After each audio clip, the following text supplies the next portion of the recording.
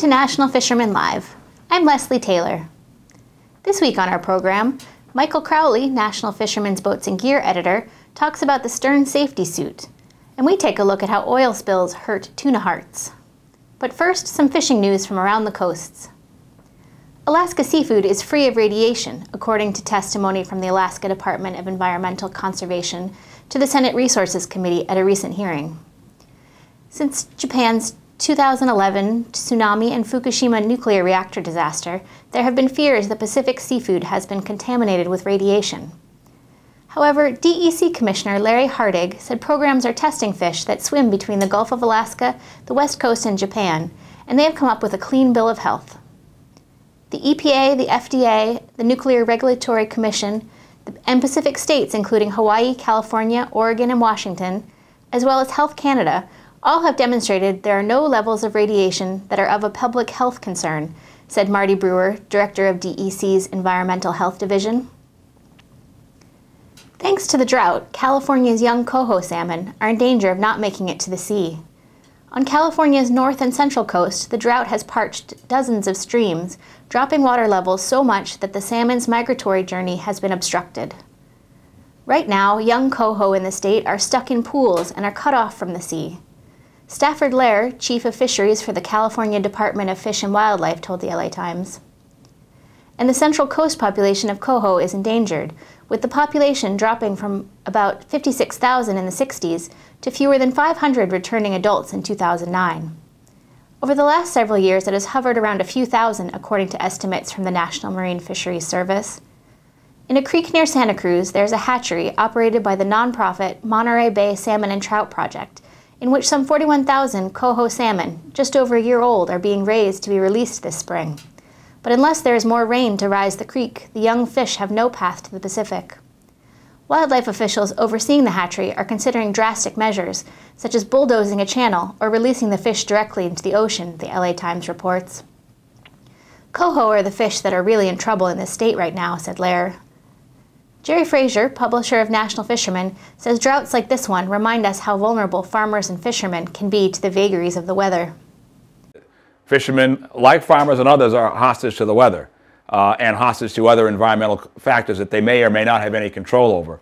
Um, in particular, in California, I think drought is something that's essentially uh, the history of the state. One of the things that this kind of calls to my mind is, is the role of government. And I know often uh, uh, fishermen are, are, skeptical or cynical about government, but this is, this is an example where, where government really has the opportunity to, to step up to the plate and shine.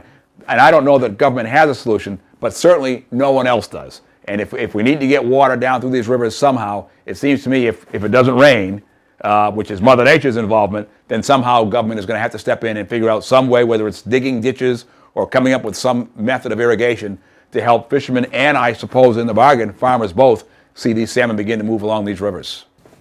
Swordfish are back. After overfishing in the 80s and 90s destroyed the swordfish population, the stock has since been fully rebuilt thanks to domestic and international conservation measures. As a result, NOAA Fisheries' Highly Migratory Species Division recently created a new open access commercial swordfish fishery in federal waters to provide additional commercial swordfish harvest opportunities using gears that minimize bycatch. This move has been echoed by state regulators with the Florida Fish and Wildlife Conservation Commission, who this month changed state rules to allow fishermen who participate in this new commercial fishery to land and sell their catch in Florida. Commercial fishermen can now catch and sell three swordfish per vessel per trip within the three mile distance from shore that Florida governs. And fishermen are allowed to now bring in smaller swordfish. The minimum cleithrum to keel limit has been changed from 29 to 25 inches. Also in Florida, as the state is easing restrictions on swordfish harvest, they are considering tightening restrictions on sea cucumber harvesting. The rubbery and slimy sea cucumber is viewed as a delicacy in Asia, and there is a growing overseas market for the sea slug. The Florida Fish and Wildlife Commission Board will vote this week on a proposal to limit the daily commercial harvest of sea cucumbers to 200 per vessel per day, according to spokeswoman Amanda Nalley. Sea cucumbers are sedentary marine invertebrates that live in shallow water areas such as seagrass beds, lagoons, and nearshore reefs. They are vulnerable to overfishing because of their visible and sedentary nature, which makes them easy to locate and collect, the Fish and Wildlife Commission said. Florida Sea Cucumber Corporation owner Eric Lee told the Florida Keys News that the new limit would run him out of business. He pays fishermen 50 cents to a dollar per cucumber, and the daily limit would barely allow the fishermen to cover their fuel bills and other costs. Although Massachusetts ground fishermen land 70% of the catch in New England, the state doesn't have an identifiable brand in the seafood market in the way that Maine has its lobsters or Maryland its blue crabs.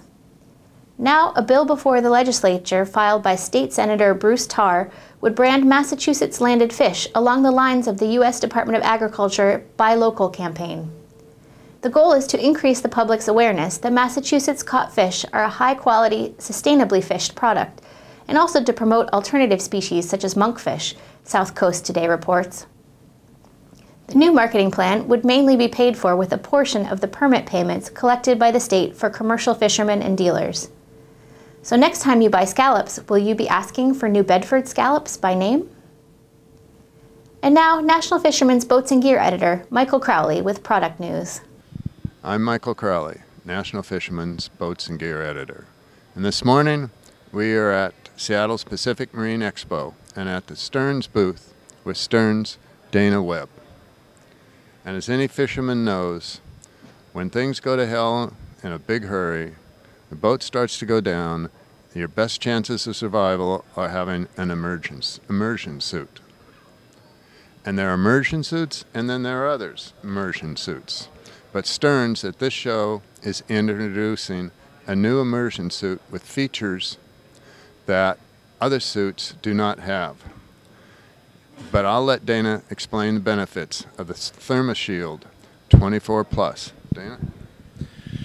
So, Mike, uh, there's a couple differences on this suit that you don't see on other suits in the marketplace. The biggest one is that we have a uh, patented uh, air circulation system that uh, fits in the back of this suit.